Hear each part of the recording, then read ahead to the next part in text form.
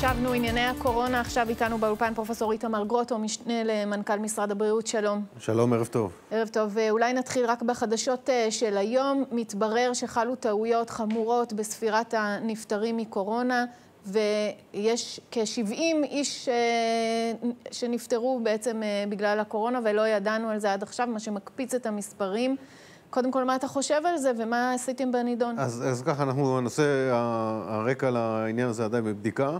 אה, מדובר בחולים שנפטרו, למעשה הם השתחררו מבתי החולים והועברו למרכזים הרפואיים הגריאטריים, mm-hmm. שהם בעצם מקום שמגיעים אליהם במקרים שצריך לפנות אה, אה, חולים ומצבם לא, לא, לא מחייב עדיין אשפוז בבית חולים, ואז שם בכל זאת הידרדרו ונפטרו. מדובר ב-53 חולים, אנחנו כרגע בודקים בדיוק מה הסיבה הטכנית שזה קרה, זה בעצם, זה משהו טכני, זה לא איזה שהוא... רק שנבין אבל, בעצם הם חלו בקורונה, טופלו בבתי החולים, חזרו לבית האבות ושם נפטרו, לא פשוט הגוף בבית, שלהם לא, התמודד. לא בהכרח בבית האבות, הם פונו למרכז רפואי גריאטרי, שזה לא, לא בהכרח שהם יצאו משם. זאת אומרת, אוקיי. יש בעצם שלב שבתי אבות, מרכזים גריאטריים הם בעצם בתי חולים סיעודיים שמטפלים בחולים, ש...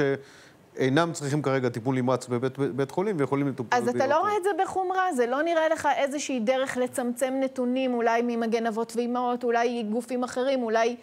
אני, אני לא יודעת. אני לא חושב שיש פה איזה משהו מגמתי, לדעתי זה טעות אנוש, אה, או טעות בעצם במנגנון הדיווח בתוך אה, משרד הבריאות, בהחלט אה, משהו חמור, אבל אנחנו צריכים לבדוק ולהפיק את הלקחים.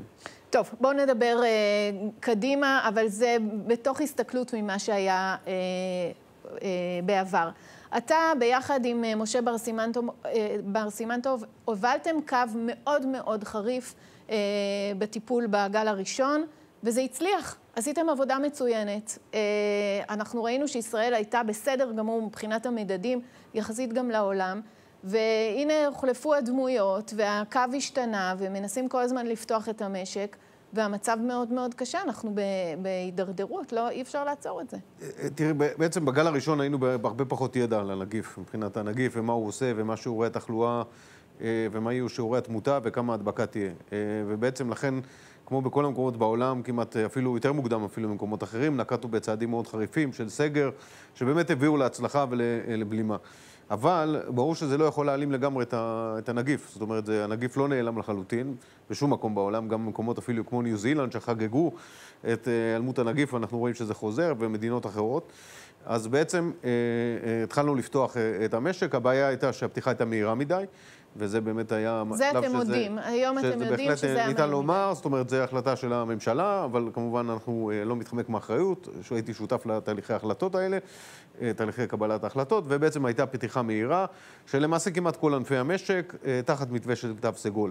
ראינו שתי בעיות עם זה, א', באמת המהירות, וב', שהתווים הסגולים לא תמיד נשמרו, וראינו מקומות שבאמת לא הייתה אכיפה מספיק טובה, למשל באירועים של חתונות, שהיה מותר להיות עד 250 איש, פתאום היו 400 ו-500 והמספרים האלה. Mm-hmm. אז השילוב של שני הדברים האלה, מצד אחד המהירות של הפתיחה, עם uh, בעצם חוסר הענות לכללים של התווים הסגולים, שהם היו טובים ביסודם, גרמה לזה שראינו התפרצות נוספת. אז אולי עכשיו צריך לקחת את המושכות לאחור ולהגיד, בואו נעצור את זה, בואו נעשה סגר לשבועיים, לחודש.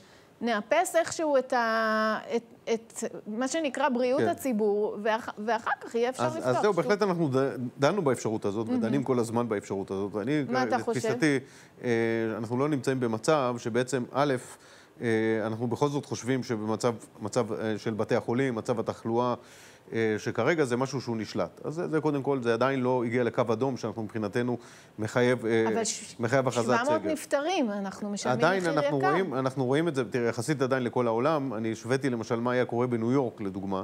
אם לקחים את המספרים של התמותה בניו יורק, ומשליכים את זה לישראל, כן. אז היינו מקבלים פה 16 אלף נפטרים. Mm-hmm. אז בהחלט, יש פה עבודה טובה שנעשית על ידי מערכת הבריאות, וזה טוב.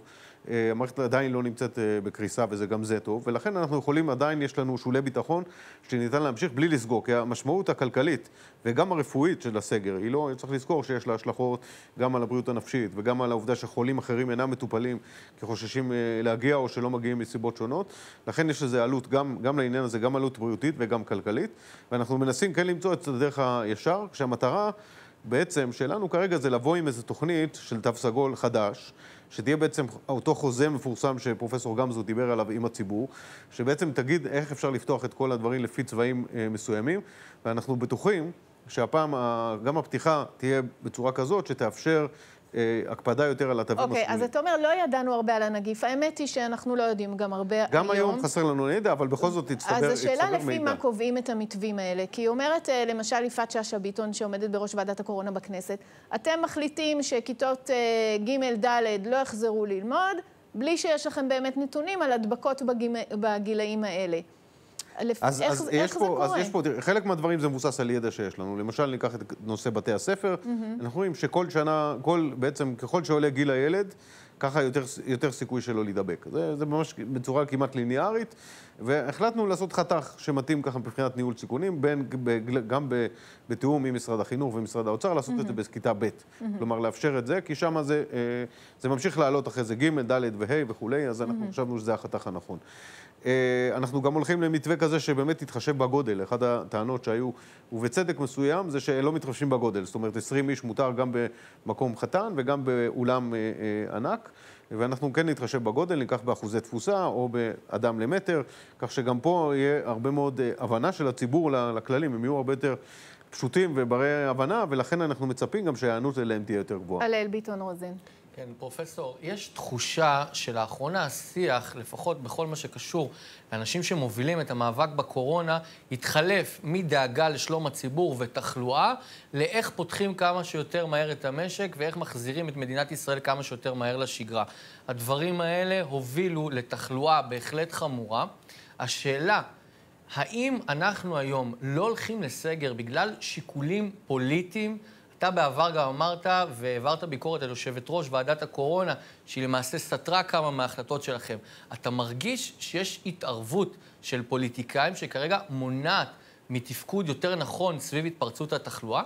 אז אני חושב שדווקא לא, אני חושב שדווקא בשלב הזה אני מרגיש הרבה פחות התערבות פוליטית. יש באמת ישיבה של מומחים, שבט... ואנחנו יושבים כל המומחים, ומה שאני אומר לך, שכרגע שחושבים שלא נכון לעשות סגר, כל המומחים הרפואיים שאיתם אנחנו מתייעצים בצורה קבועה, יש פורום קבוע שמתייעצים איתו, שמוביל, כולל את בכירי עולם הרפואה בהווה ובעבר. אה, בהחלט, אנחנו אה, כולנו, כולנו תמימי דעים. אנחנו גם מבינים שבסוף אה, אי אפשר להתעלם גם, אני אומר, נכון שזה השלכות כלכליות, אבל גם ההשלכות הכלכליות בסוף פוגעות בבריאות. ואנחנו רוצים להסתכל גם על הצד הזה של הפגיעה בבריאות כתוצאה כן. מאבטלה, כתוצאה מכל הדברים, הלחץ שהציבור נמצא, הבידוד וכולי, ולכן אנחנו גם חושבים שגם תפקידנו כמערכת בריאות, למרות שאנחנו אחראים על הבריאות, זה גם בריאות וגם שם אנחנו צריכים... רק רוצה לחדד את השאלה, סליחה שרה, אם כרגע פרופסור גרוטו היה צריך להכריע מבחינה רפואית בלבד מה נכון כעת לעשות, האם היית ממליץ ללכת לסגר? Uh, התשובה היא לא, אנחנו בהחלט uh, uh, צריכים לדון, זאת אומרת, יש מצב ש, שבעוד שבועיים אני אגיד לך משהו אחר. זאת אומרת, הנתונים, כמו שאני, נתונים לפניי מונחים כרגע... הם עדיין לא מספיק קשים. עדיין מונחים כרגע, אנחנו חושבים שזה מצב שבסך הכל התחלואה נמצאת על רמה של בלימה, לא יורדת עדיין, אבל גם מצד שני גם לא עולה, ולכן אנחנו חושבים שזה מקום שאפשר עדיין uh, להמשיך באותו קו. אה, ולהמשיך עם, עם אה, תוכנית הרמזור וכל הדברים שמסביב. כן. כשבאמת, תמיד יש לנו תוכנית, צריכה להיות תוכנית מגירה, גם לאפשרות שאנחנו נצטרך להחמיר את הצעדים. אה, אגב, מה אתה אומר, אפרופו כל התוכניות והמתווים ותו סגול ותו אחר, על ההפגנות שמתרחשות בחוץ, אלפי אנשים צמודים? בדרך כלל עם מסכות, אבל אה, זה נראה לך בעייתי. תראה, המזל הוא שבחוץ באמת ההדבקה בקורונה הרבה יותר נמוכה. גם במתווים החדשים שאנחנו קובעים, יהיה הבדלים גדולים בין החוץ לפנים. זאת אומרת, אה, גם במתווה התרבות שעכשיו כבר יצא לאור, ובהמשך גם מתווים שיהיו קשורים בתפילה ועוד כל מיני דברים שניתן יהיה לעשות אותם בחוץ. אני חושב שבספטמבר גם יהיה יותר קל לעשות בחוץ כי פחות חם. אז בהחלט בחוץ אה, ההדבקה היא פחות, אז, פחות בולטת. אז מה יהיה למשל עם המתווים של בתי הכנסת והתפילות? אנחנו לפני החגים. גם כאן אנחנו אה, חושבים שבעיקר נצטרך ללכת על, על תפילות בחוץ. ויכול להיות שלאותם הימים של באמת של עשרת ימי תשובה והנושא של אה, תפילות של ראש השנה ביום כיפור, נצטרך לתנות להם איזשהו מתווה מיוחד, גם זה בתוכנית שלנו. כן, אני רק חושבת על הקשישים, אה, כמה זה מסובך להתפלל הרבה שעות בחוץ, או להחליט שלא ללכת לתפילות, זה דילמות מאוד קשות. אז זהו, העניין של קשישים באמת, אה, בכלל אנחנו מעדיפים שלא יגיעו למקומות של התקהלות, אז... בכלל כאן עדיף שיתפללו בבית. טוב, בוא נדבר רגע על זהות הנפטרים. אנחנו אומרים 700 איש, זה לא אומר לאף אחד כלום. אנחנו חיים, ממשיכים לחיות אה, בחיים שלנו, אנחנו גם לא מבינים כמה זה ביחס לתמותה משפעות וכולי וכולי. אני רוצה שתעשה סדר וגם תגיד לנו עד כמה אפשר לפלח את, אה, את בעצם הזהות של הנפטרים. האם זה כמעט כולם מבוגרים? האם זה מבוגרים ממש מעל גיל 90? האם... אנחנו כן. שמענו אתמול על בחור בן 38 שנפטר מקורונה. נכון, אז קודם כל באמת התמונה, צריך להבדיל קודם כל בין החולים הקשים, שחולים קשים יש לא מעט צעירים, mm-hmm. אבל צעירים בדרך כלל מתמודדים יותר טוב. כמעט רבע. אה, כן, נכון, אבל הם בדרך כלל מחלימים. אלה שנפטרים, באמת הגיל שלהם מאוד מבוגר, יחסית, כן, אני לא... יש לי אימא בגיל הזה, כך שאני בהחלט אה, מודע לעניין הזה שהיא רוצה... עד 120. אז אנחנו בהחלט, אה, הגיל החציוני, למשל, הוא גיל 82, זאת אומרת שחצי מהאנשים מתחת וחצי, גם הממוצע פחות או יותר סביב אותו מספר. אני לא אומר שזה אנשים שהיו, יכול להיות שזה אנשים שהיו יכולים לחיות עוד חיים לא קצרים, זאת אומרת, חיים, חלקם, חלקם... זה אנשים שהיו יכולים לחיות עוד חיים אה, ארוכים וטובים ונעימים, ובהחלט אני חושב שכל מקרה כזה זה מקרה שאנחנו צריכים להילחם עליו וצריכים למנוע אותו, ולכן אנחנו חושבים שהדרך לעשות את זה זה באמצעות, יש פה עניין של סולידריות חברתית, זה בסוף הצעירים צריכים להתנהג בצורה שונה, לשים מסכות ולשמור על, למנוע התקהלות, כדי להגן, להגן על המבוגרים. תנו לנו לחיות את החיים שלנו, העולם שייך לצעירים באופן ציני, ושהמבוגרים, מי שבסיכון, שיישאר בבית. אז אני חושב שבאמת אה, כאן יש באמת איזו נקודה שאולי לא הצלחנו להעביר אותה, אה, אם זה עניין של הסברה, אם זה עניין של מודעות או תפיסה שונה של החברה היום הישראלית, שפחות אולי יש בה סולידריות אה, חברתית. אני חושב שבנקודה הזאת באמת, אני חושב שזה מסר שחשוב להעביר לצעירים. בסוף אתם צריכים להתנהג כמו שצריך כדי להגן על ההורים שלכם ועל הסבים והסבתות שלכם. מצד ובסוף... שני, קשישים למשל, שאין להם תמיכה מספיק טובה. אין להם ברירה, הם לא יכולים ממרץ להישאר בבית ו- ולהסתדר. אז, אז בהחלט, בהחלט יש אה, היום מנגנונים, משרד הרווחה, משרד לשוויון חברתי ואחרים שבאמת אה, וגם פיקוד העורף ואחרים שדואגים לאנשים, דואגים גם לרווחה שלהם, גם לטיפול, וגם אולי קצת לשעשע אותם. עכשיו בחלק מהפעילות של פיקוד העורף זה גם להגיע לבתים של אנשים.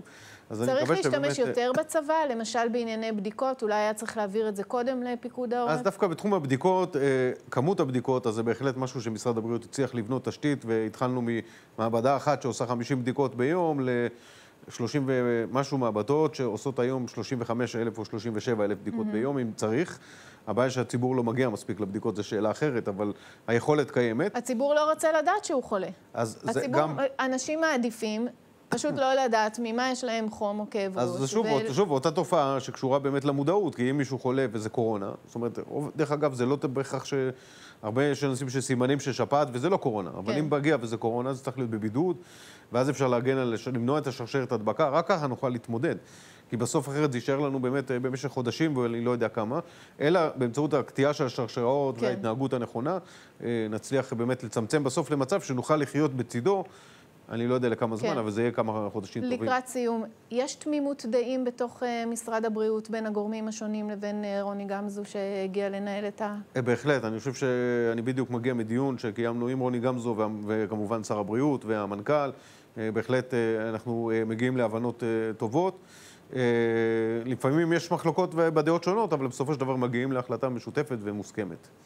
מה שגרם להתפרצות הגל השני, ללא ספק, זה היה חזרתם של תלמידי ישראל אה, ללימודים לקראת סוף שנת הלימודים אה, תש"פ, וכעת, לקראת פתיחת שנת הלימודים תשפ"א, יש חשש שאולי אפילו התחלואה עוד יותר תזנק?